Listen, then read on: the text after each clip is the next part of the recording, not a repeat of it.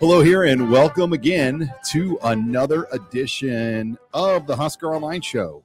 Sean Callahan, Steve Sipple, Robin Washut. Hopefully, everyone's off traveling somewhere far, fun uh, for this Thanksgiving holiday. I know we will not be. We'll be here in Lincoln, um, ready for a big football game on Black Friday, Nebraska, Iowa, 11 a.m. Virtually a pick 'em spread. I think Nebraska right now, show taping, is about a one point favorite. Um, just the fifth time, by the way, Nebraska's been a favorite all year, Hmm. um, which is you know puts in their what's how many wins they have, Steve Sipple. They have five wins, Sean. They are five and six. So yeah, y- I mean, Thanks, you- Steve. that's why we pay you the big Back bucks. to you, Sean. Send it back up to the booth. But big game in a lot of respects um, because of what it means for Nebraska. Um, a win over Iowa would signify year one advancement, program progress, extra practices, um, an extra month of football at a place that, quite frankly, with the coverage and the fishbowl, needs an extra month of football just to to kind of keep the ball in play and develop this program another step.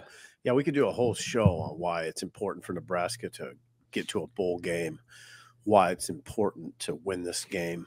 Um, Rhule, Matt Rhule did a good job on Monday of, of laying it out. He talked about some players that he'd love to develop uh, during this month. Um, there's a there's just a lot of them. There's a lot of young guys in the, in the program that could use 15 practices. And what's happened over the years is these these programs that you're competing against have gotten an edge on you. Um, 90 practices they have versus you know, Zero. you don't have those. Mhm. And the only last thing I'd say is I never ever have liked the image of that big stadium over there and that training complex being dark in December. It's just no good. I mean, that's not what you want a, a program like this to to have a dark December where there's hardly anybody around for a month. It's no good. It doesn't do any good. All those machines, all that, all that equipment, um, all the personnel. In a month, just you're not doing anything. It's not good. Not Yeah. good. The significance is immeasurable for a lot of ways. In the context of this season, obviously going to a bowl game, and just like Sean said, the tangible step forward is a program that you would make. Beating Iowa in Memorial Stadium for the first time since 2011, beating Iowa for two straight years for the first time since joining the Big Ten. I mean, those are pretty substantial things if you want to call this thing a rivalry for Nebraska to flip the script Oh, yeah. uh, and and build upon what they did last year. But um, the bigger picture, as you, you mentioned, Matt Rhule really laid it out. I mean, there's guys across the board that would benefit so much from another month of practice. Uh, he listed guys like Yeah. Jason McShake Shack. I can't pronounce his yeah, name. just say shake. Shack. Yeah. that's what Rhule does. He called him- Machachak. yeah, Machachek. There you go. Um, raved about him. Said he's about to be a really good player. Uh, Dylan Rogers, DeAndre Barnes, Jeremiah Charles, Bryce Turner, all named Good job, Rob. By Matt Rhule as freshmen that they're really excited about. And for those types of guys to have another month of practices to not only just get extra work, but you can tinker around with them a little bit. Yeah. You know, put them in the in with the first team group and just see how they respond. Where in the course of a normal game week, you might not get that opportunity. And so um, other guys too. Ruquan Buckley is now moving to offensive What line. guard. Yeah, just kind of casually dropped it in there. Said he moved to offensive line is going to be a quote dynamic guard. Him getting a month of extra practices at guard. Talk about accelerating your Yeah. development going into the offseason. So there's the list is endless of why Nebraska desperately needs to When win you this game. know, I mean, a Matt Rhule Good job, Rob. bowl month would be big. I mean, it- they would have a great plan. Oh God, I mean, and they'll work. They'll- They'll work. Oh, It, will be like an extra sprint. I mean, Matt Rhule, you know, there's they'll have scrimmages and things built in for young players, and um, it will be interesting. But you know, the other storyline, Chubba Purdy, as as we get ready um, to head out to this game with Iowa on Friday. Um, I said he- in Head Lincoln out. here, not Yeah, head I'm out. not going to Iowa City. We're not going to Iowa City. That was last year, but um, Chubba Purdy has a real chance to kind of change the discussion points of the quarterback position because if he plays well against Iowa and they win, does that change anything about that quarterback position in the discussion of a potential portal piece they might try to add to this roster um, going into the offseason? Well, two things that come to mind as you ask the question is I think we all, I mean, you're, I think we're on the same page here. You're, you're saying he would have played well in two straight games then because you feel like he played well against Wisconsin. I did. I think. I mean, would say he played pretty well against Wisconsin. Yeah, he could change the conversation a little bit. I don't know that he would do anything that you would say, oh, they definitely won't go into the portal for a quarterback. If he plays well though and wins, could he spook off other quarterbacks? Yeah, he could do that. It's so it's always hard to answer these questions about the portal because you don't know who's in it. you know, Yeah. I, I don't I don't know who who we're talking about. Like we're, you know, we always say, well, Nebraska go into the portal to get a quarterback. We always ask that question. My answer is always the same. Well, it depends who's in there. and It depends if you can get him. Um, now And who else is involved? yeah. So, but Ch- yeah, I mean, Chubba did play well enough that it does make you wonder what happens if he strings together two and wins, you know, and, and beats Iowa. And say if they, I mean, wins the bowl game too. I mean, like, what if they? yeah. It just, I think it makes it a lot more different discussion. Jeff Sims too is a fascinating piece of this. Like, will this be his last weeks in Lincoln? Will he enter? Well, can he enter the portal if he graduates? Yeah. We, he's got to graduate. Got to graduate. Yeah, He's on track. According to the media guide, he's on track to graduate in December. So, I don't, I, now he was on track. We'll see if he does it. Mhm. We got to find that out. Yeah. because that's a big piece. Um, because what he wants, I mean, but thing is, Jeff Sims, I don't think he's going to have much of an NIL market value to go somewhere else. But at the same point, I don't know if he'll have the same type of NIL opportunities he had last year as he does, you know, this. this for Well, no, next you wouldn't think so. I mean, No. God, he's I- thrown I would six, hope not. six interceptions and 47 pass passing attempts. Six interceptions and 47 pass attempts. That that's you know, guys in the NFL, Rob, Rob, throw 47 passes in a game sometimes. College they do, but you never see six interceptions. Um, you, you don't get to six. Yeah, with Purdy, you know, the we talk about the conversation of a bowl game. Like he probably benefit as much as anybody. Yeah. Keep in mind, he was scout team just a few weeks ago. Like Yep. he wasn't even getting second team reps hardly. So I mean, like this is a situation where he is just really getting started in his first real shot in this offense. Uh, and if his debut is any indication of what he could be- be in this in this system, I think that's pretty exciting. He's but got- I, I agree with you; it does not change the conversation. I still think they go get a they go get a quarterback, Yeah. but I don't think it's a deal where, like last year, they're going to go take someone and immediately hand them the keys to the Oh, offense. I that's a bit. That'll be a big change. Now, the other big change is he's going to play a much better defense this week. Iowa's got a much, much better defense than Wisconsin. It's much better. Yeah, they don't allow big plays, but mobility hurts Iowa. we'll see. I mean, how many mobile? I mean, they played Mordecai, obviously, and did well against him. Yeah. But how many mobile quarterbacks has Iowa really faced? Like true mobile guys that don't can know. run four, five, forty. Yeah, not there was not. A, well, I mean, think about the. We've just seen in them all. Big Ten, yeah, in the Big Ten, there's not that. Many. I mean, Rutgers has mobility. Yeah. Um, but Chubba, I mean, he looked good. I mean, I, I'm I'm I'm intrigued, and the emotions for Iowa are going to be really high. They've won the West. They want to get the Heroes Trophy back. Brian Ferentz's final regular season game, um, you know, as offensive coordinator. What about Kirk Ferentz? Like, what Mhm. what's his future? I mean, there's so many angles of the Iowa too uh, that add some juice to the to this matchup here. Yeah, here's what adds juice to me. Nebraska has lost three straight games. And I mean this but but a lot of that would be erased. A lot of that bad feeling would be erased with a win. Oh, definitely. And a win against a ranked Iowa team that's a, top that won the First, West. it would be beating a ranked team for the first time since Oregon in 2016. that see there's that. And here's the thing. Now I hope you understand this the distinction you make here. You have to beat Iowa. They're, they're not gonna they're not gonna hand you anything. Mhm. and that that's good for Nebraska. If they beat Iowa and have to beat them, that'll be something. That'll that that'll say, okay, this is progress. Because Iowa's not going to come in here. They gen- they just don't hand games to people. Like how often do they do it? Very rarely. You got to beat them. Nebraska's got to close out Iowa, which will be really hard to do. There's really a lot of similarities between Nebraska and Iowa. The difference is Iowa finds ways to win at the end, and Nebraska finds has found ways to lose. That's and that's why it's hard to pick Nebraska. And what's another big difference? Iowa's got the best punter in the world. X factor. Yeah. Yeah, and, and Nebraska's punting, as we know, has been a, a major liability Yeah. um, in this November um, stretch here. But all right, when we come back, we'll delve more into the offensive storylines as we get you ready for Nebraska versus Iowa on Black Friday. You're listening here to the Husker Online Show. And we're back here on the Husker Online Show. Sean Callahan, Steve Sipple, Robin Washut. Uh, before we get into some offensive headlines and storylines going into Friday, uh, this segment of the Husker Online Show brought to you by Bauer Underground. They're helping shape Nebraska's infrastructure and they're looking for people and new members to join their team. They got open positions for laborers, equipment operators, aerial linemen, foremen. They're searching for the best in construction.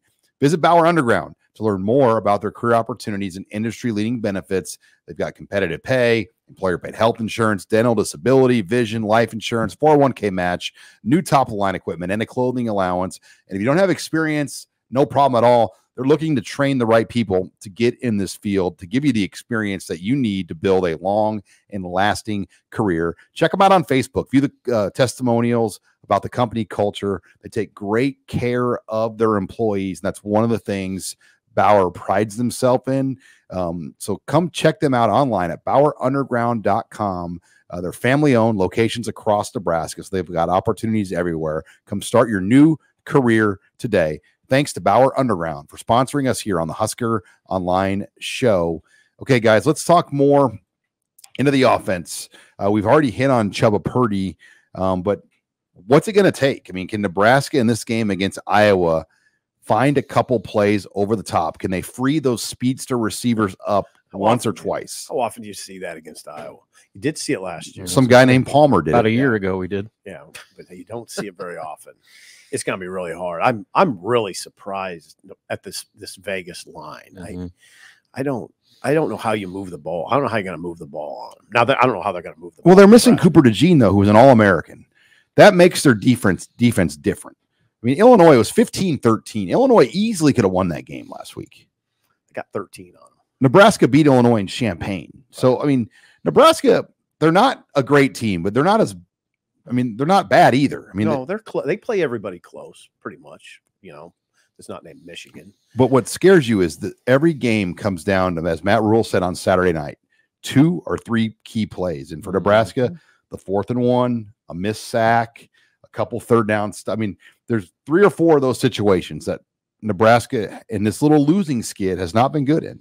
Yeah, the, the big difference this between this game and last week's is the def. I can't stress enough. Iowa's got a much better defense than Wisconsin. It's going to be harder. It's going to be harder for Chubba. Um, I'm not saying they can't score 13. I think Nebraska might be able to score 13, but I wouldn't give it much more than that. You know, 14 maybe. Well, Iowa's defense only gives up 12 per game. Right. You know, and they're not in and they're facing an offense that really struggles. That's scoring 18. Yeah. But Which ranks what nationally? uh, well, they're 12th in the Big Ten. Yeah. But guess who's right below them? Iowa. Yeah. Iowa's offense has scored three less points Right. than Nebraska this season. So, for all the talk about how bad Nebraska's offense has been, I was just look at. Iowa. Yeah. If they're not scoring with defense and special teams, they're averaging 18.5 I think points. the per game. number's 27 and a half Mhm. over under.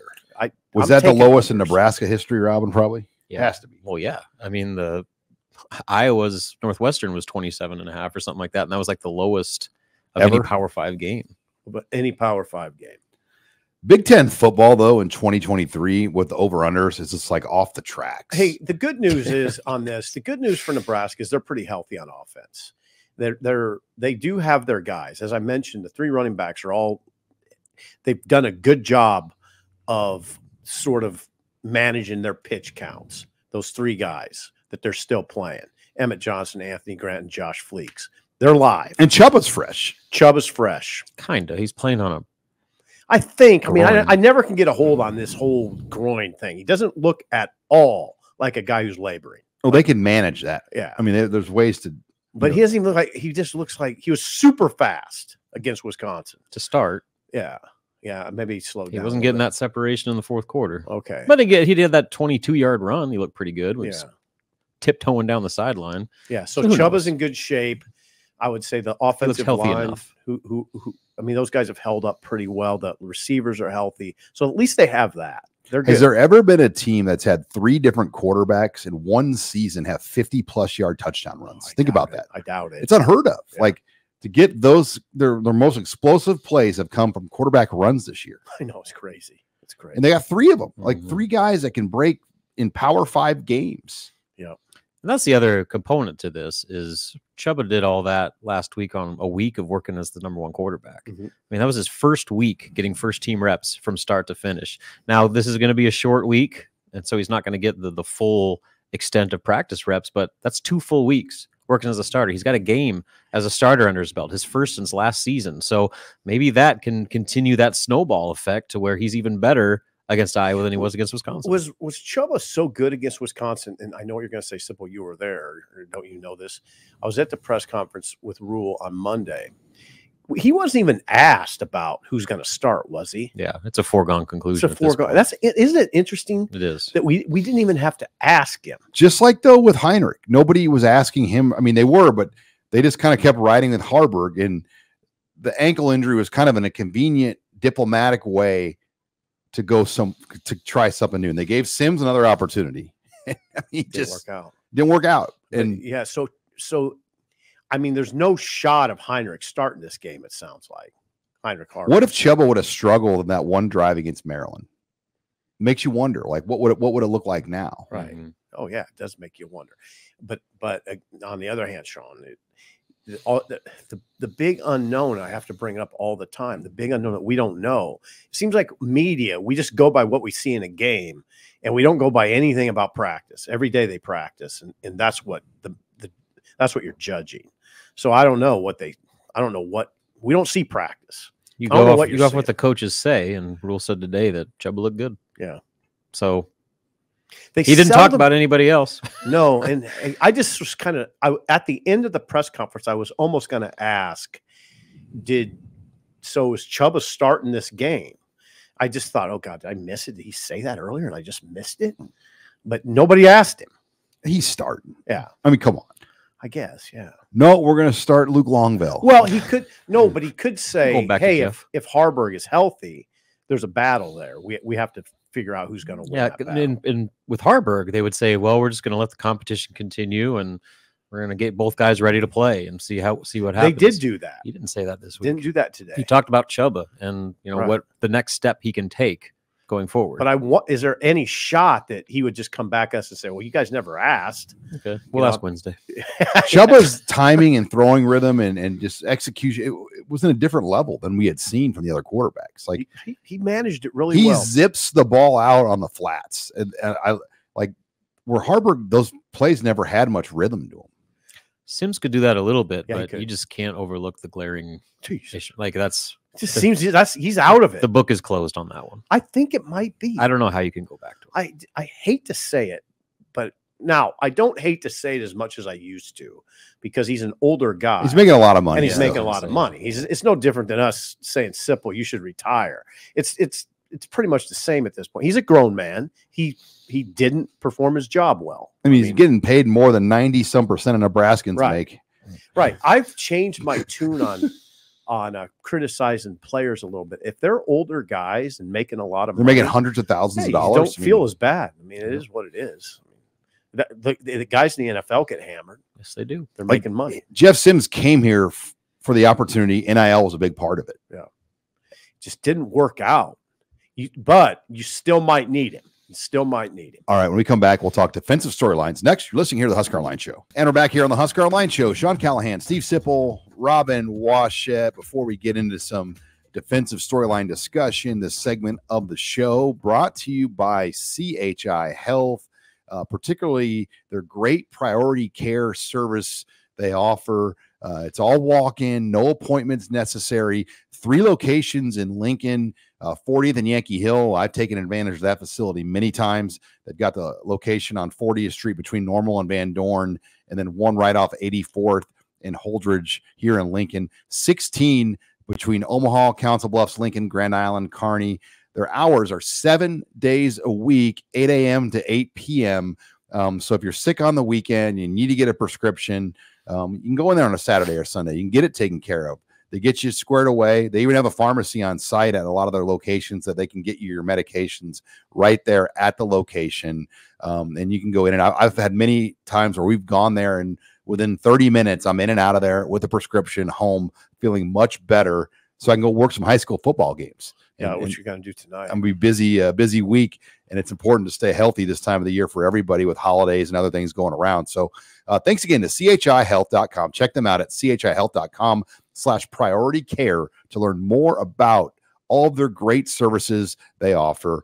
Uh, all right, guys, let's talk Tony White because you heard the elephant in the room was finally addressed. Uh, Tony White's name is being mentioned a lot for as a candidate. He's been mentioned as a candidate for Syracuse. Dino Babers was fired um, this week, um, so he's naturally a candidate there. San Diego State. Brady Hoke's going to retire. Tony White coached there. He's mentioned as a candidate for that job. Um, and then you know even like USC's got a D coordinator job open, but I don't know if anybody would want to be a D coordinator for Lincoln Riley because the style of football. Somebody will. Well, the style of football he plays Bam. doesn't really help a D coordinator out. No, it doesn't. No, I, I understand what you're saying. Like it's not like he's a bad coach, but you're not going to go work for Lincoln Riley to brush up your stats. Mhm. Probably not. Li- Lincoln Riley might want to. I don't want to get off on a USC tangent here, but Lincoln Riley might want to kind of change his methodology a little bit. I mean, they're seven and five. I mean, anyway, yeah. Rob, what did what did uh, you hear Rhule say today? Well, I mean, he kind of laid it out there that he has already had he's had these conversations with Tony White and really all his assistants about guys that are gonna get calls about other opportunities. And his advice to him is if you got an opportunity to advance your career and take that next step towards your ultimate goal, go get that job. And so that's what his message is to Tony White. And that- he's yeah, but he his caveat with that, make sure it's the right one.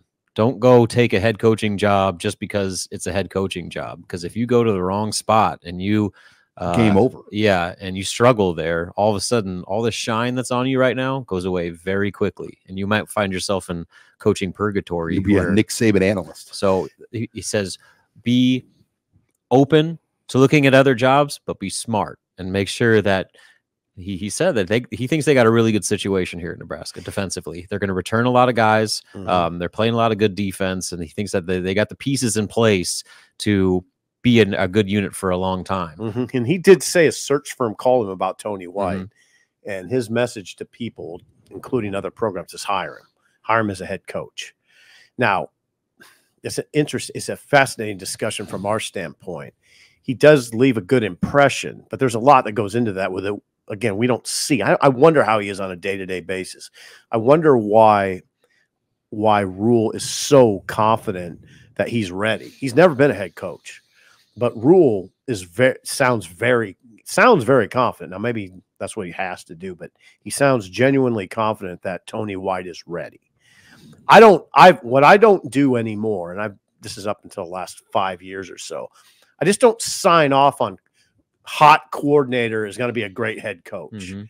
And Rhule said t- t- today it doesn't work that way. Like look at Will Muschamp. Yeah, it, it doesn't hot hot coordinator doesn't necessarily equate into good hmm. head coach. Scheme magicians are scheme magicians. That doesn't mean they're great leaders. Like Craig Bohl's a great example. Was not a great coordinator, but he's been a very good head coach. yeah, that was the opposite way. The opposite That- way, Yeah, so that, that went the opposite. The traits that you need to be a head coach are different than coordinator. yeah, traits. one hundred. because the majority of your job has very little to do with football. Yeah, like you're that's you're Rhule said. managing hundred plus players and all their stuff off the field. You're dealing with, uh, you know, media. You're dealing with all the the, the fan base and the, the the opportunities you have to go out there. Like it's it's so much that goes beyond just X's and O's and drawing Oh, up, you know, inside zone run plays Mhm. that go. And some guys are cut out for it. Matt Rhule appears to be pretty cut out for it. Some aren't. Osborne was kind of the unicorn where he could actually draw up elite plays and run a program at an elite level. Yeah, And not pe- many of those guys. people have tried to do that. Frank tried to. It's hard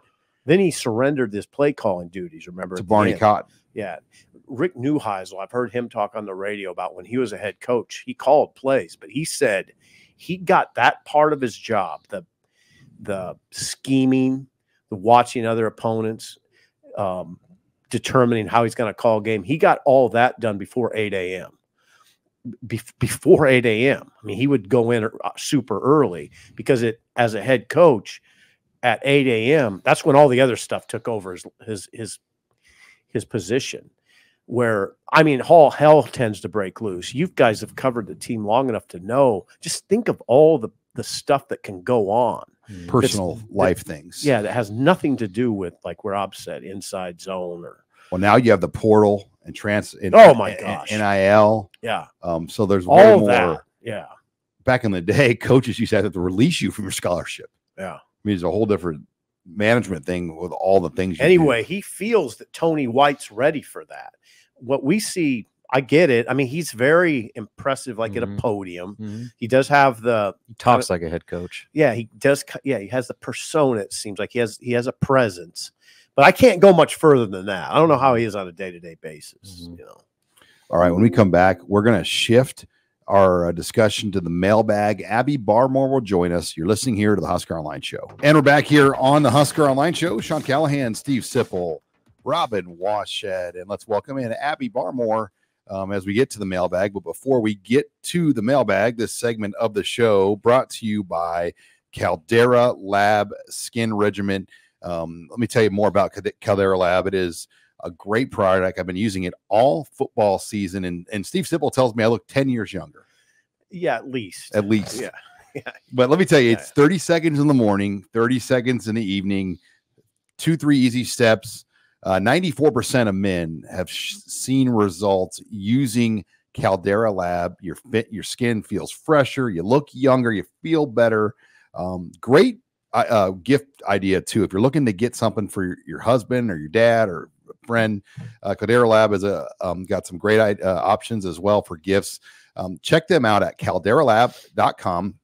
Use promo code Husker to receive 20% off your order. That's calderalab.com. Promo code Husker to receive 20% off your order here at Caldera Lab. Thank you again to Caldera Lab for sponsoring us here on the Husker Show. All right, Abby, uh, let's delve into the mailbag where we starting off. Okay, here we go. If Nebraska loses to Iowa and ends the season five and seven, what are the chances they're one of the five and seven teams to get invited to a bowl? I think it's just too early to say until we Hmm. see how the week plays out because I think there's a ton of teams that kind of fall in this base camp of five and seven, six and six, but six potential.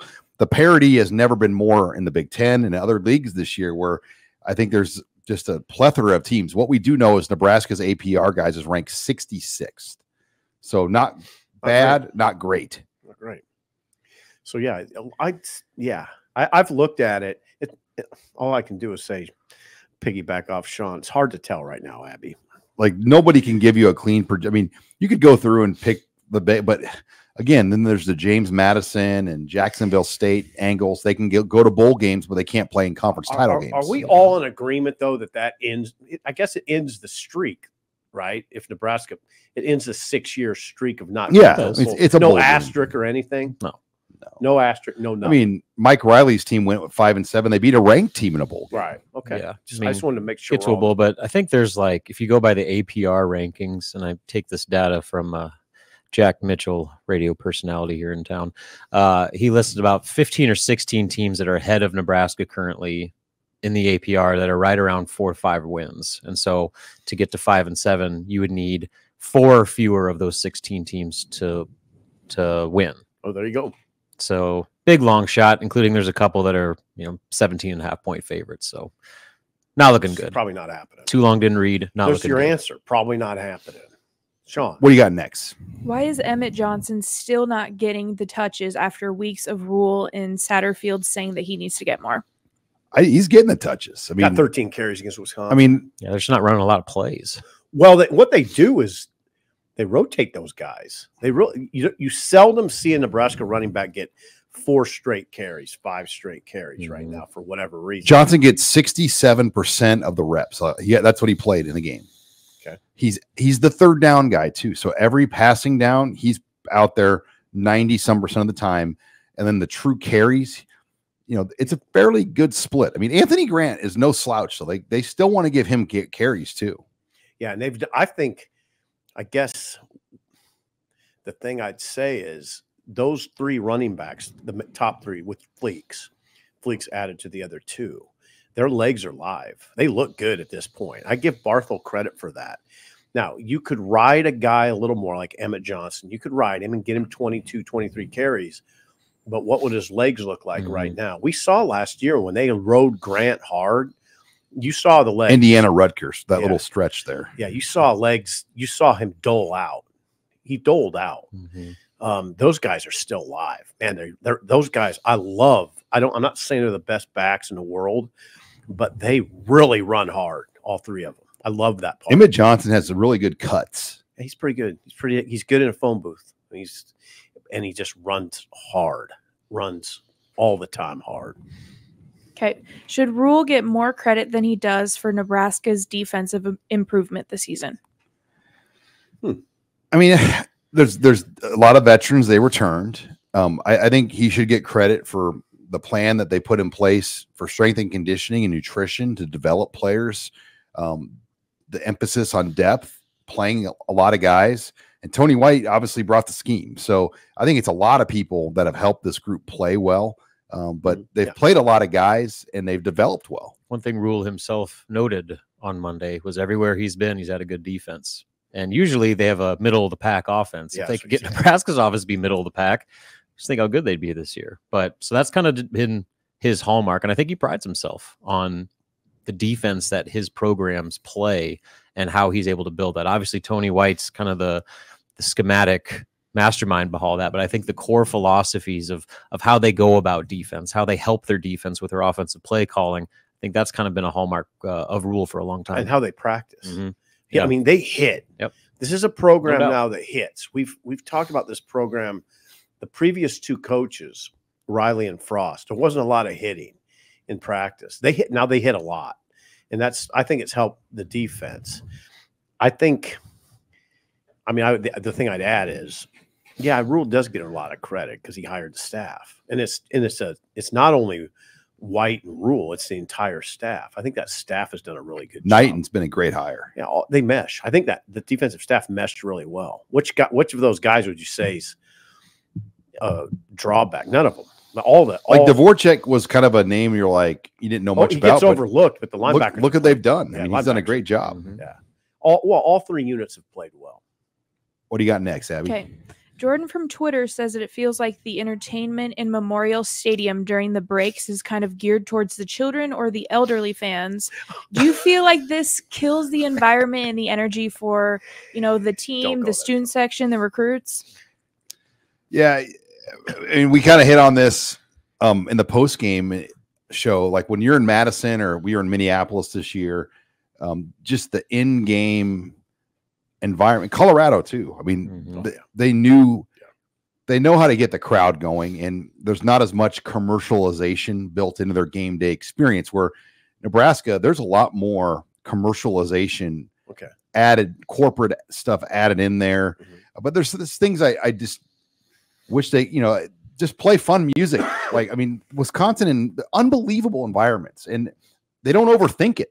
No, they don't. Let's play a song that we know everybody's going to have fun to, not try to come up with some Irish song Easy, and jam the lyrics Easy. down and make the fan base learn this song for five years. And we still don't know the words to it. I think they also have been playing the same songs there for like 20 years. So everybody knows kind of they kind of got a routine going. So the sing-alongs kind of happen because everybody's used to it. So you know maybe that's with your Irish song. Maybe in 20 years everybody will learn the lyrics. Yeah, but to the it. Killers is like on the radio. Everyone knows the kill, like well, yeah, Neil um, Diamond and Buttercup. At, I mean, some Yeah. of these songs up, are fun. Yeah, and it- again, it's a party, and I don't know. I mean, it's not. I, I wouldn't even say it's like a alcohol sales thing. They don't sell alcohol in uh, Camp Randall. Camp Randall. So They seem Wisconsin. Would you say Wisconsin seems to gear their music more towards the students? Is that what you're saying? mm, some It seems to me They have do. probably they the play a lot of oldies and classic rock too. That's true. You you yourself said this is the best music selection in the. Big well, Ten. I've noticed it oddly enough. uh, This is odd.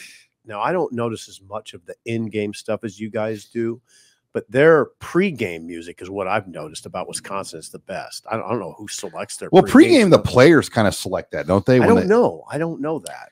I don't know. Here's another thing too. There's a way bigger student section at all- all those stadiums too. Nebraska's tucked away in the corner. Get more students, you're going to have more energy. Yeah, the That's just Wisconsin reality of it. student section's a sight to behold. Yeah, it is. I mean, it's a massive. That's what it comes down to me. I mean, That's why I think they gear their music. if Nebraska had an entire end zone full of students, their energy would be a lot more. Like they might have par with that. twenty thousand students in there, and Nebraska has twelve or thirteen. Yep. It's a big difference. I mean, it's a lot more students. says it all thought right for there. sure you're going to say, "Sip, what do you think? You're elderly." Thanks for your restraint, Sean. As the resident old, yeah, At Wisconsin, though, the like the press box literally shook at least twice during the game Yeah. because of all the bouncing and jump. Now, the jump around obviously is its own deal, but then Cotton Eye Joe. yeah, Cotton Eye Joe it bounced. So like, let's not like praise the music too much. They put Cotton Eye Joe. They played Cotton Eye Joe. yeah, but that still gets you going. It's like a jock jams, yeah, and it did, it, but it did bounce. but it bounced. hey, I'll tell you what, I don't notice the in-game stuff as much as you guys do. I don't. I'm, I'm, I don't know. One Tweet- thing, and I'm I- tweeting. to the, showing the highlights in the middle of the game of other games, like that doesn't do much for me. You don't like that, do you? Well, No, 'cause I don't either. it- I don't. it- it's a buzzkill. Like I just don't know like how showing like the K State KU highlight does anything for the in-game environment. People now can check their phones and see those score. I just don't The get highlights were cool in 1985, like you might, but it's, use that to play a pump up, get the crowd going, or even 1995. They were cool. Yeah, look at the jump around. Look at Yeah, that's crazy. That's all good. right. Final question, Abby. Barmore. What is your favorite Black Friday Nebraska football memory? You know, my early days, um, Like that one. going out to Colorado, um, just th- those are my first memories of you know covering Nebraska on Black Friday. I went to all those games, being there in 01. Um, c- you know, Oh, it's not really a great memory, but it was you know the la- the fall of the dynasty. I mean, that's kind of where it began. Oh, one. The 01 game in Boulder, and Yeah, it wasn't a great. I don't think you really realized what that day meant for Nebraska. But since that day, Nebraska football over 20 years ago has only been ranked in the AP top five poll for a grand total of one week. Whoa. Um, but Black Friday. Yeah, you know, ridiculous. I, I just remember how you know it used to be with Osborne Solich, you didn't have to worry about much. But for us, we've spent a lot of Black Fridays worrying about coaches and getting fired and, and Just craziness. scrambling back, pulling up to the football coaches' offices on Saturday at six in the morning or eight in the morning to see if guys are clear. I mean, so lately Black Friday has been kind of a stressful time, like where you, you don't really have a lot of time, but probably the Suh interception against Colorado um, and, the, and the Henery field goal are probably the two of the God, best that memories. was amazing. That was amazing. Yeah. And I mean, just go down the list, like Bo saying if he, he wants to fire me, fire me, like that sort of stuff. Like, Yeah. I mean, Yeah, yeah, that was. I remember Rex that. Burkhead in the 50 mile an hour wind, carrying it like 38 times. No, that okay. That was the That was a- game. The 2011 game in Lincoln's when he broke the record, that's right. and the 2012 game is when he played just the second half, That's right. and they won 13 to seven. And it was the Stud. coldest I've ever been. yeah. Was, the cold, it was a, it was a, it was about as cold a game as you can remember. What I remember most about Black Friday, I don't, and this is a favorite. It's kind of a favorite memory, and it was over. I overuse the word fascinating, but it was fascinating. It was when Bo said what Rob said when he said, "If you don't want me here, fire me." You know that whole thing. First of all, it didn't make a huge impression on me because I was so used to Bo saying things like that at that point that somebody literally had to tell me, "Sipple, that was big." But then I remember, I always remember talking to him after that game, and he wanted to talk. You could tell he wanted to talk, and I was driving this loop. I just kept driving while he was talking, and it was up Vine to 48th, then d- down O to 27th, and then d- I just kept making that big loop. And at one point, now this was awkward. It was really awkward, and you guys have been through this because you've been in these kind of situations. He said, "They're not going to fire me," you know, which was significant news at the time, but I couldn't really report it. You know, he he he just dropped it in the conversation. Oh no, they're not, they're not going to fire me. Which at that point was like, oh, they're not. Seemed, seemed I inevitable was at like, "You that su- point. are, are you sure about that? yeah. Uh, but he was sure. It's 2013. He didn't fire him. He goes, he goes, oh no, they're not going to fire me. So Hmm. he knew at that point they weren't going to fire him. Hmm. he dared Eichorst. Yeah, but he knew already on that that Friday night because he yeah he said it very definitively. I was like, "You sure about that?" He goes, "Oh yeah." They, I still can't. I mean, the the thought of like the 2014 season when they just beat Iowa to go nine and three, and Bo was going in there to meet with Eichorst on Saturday. Yeah. or it might have been Sunday. I I think it was Sunday, Sean. Um, it was and Sunday. he and the coaches were Sunday. getting ready to go out to recruit. it was absolutely Sunday. the coaches were getting ready to go out to recruit, Mhm. and Eichorst fired him. Like he, he didn't. uh, Bo didn't know that was coming. no, he didn't. I don't think he. Did. and and that that was interesting to me because then like the email dropped like right before church started and I, like i turned around i'm like let's get to work Yeah, fun times. All right. Well, Yeah, it'll be a little. Memories. I, mean, I got to think it'll be more calm this year. all right. When we come back, we'll close the show. Uh, we'll discuss the big week ahead in the Big Ten Conference. You're listening here to the Husker Online Show. Final segment here of the Husker Online Show. Sean Callahan, Steve Sipple, Robin Washut. Before we get into some Big Ten discussion, uh, this segment of the program brought to you by Steve Sipple.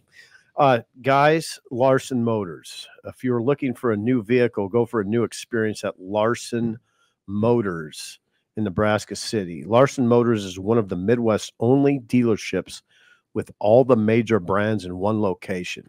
Finding your new Chevrolet, GMC, Hummer, Ford, Chrysler, Dodge, Jeep, or Ram.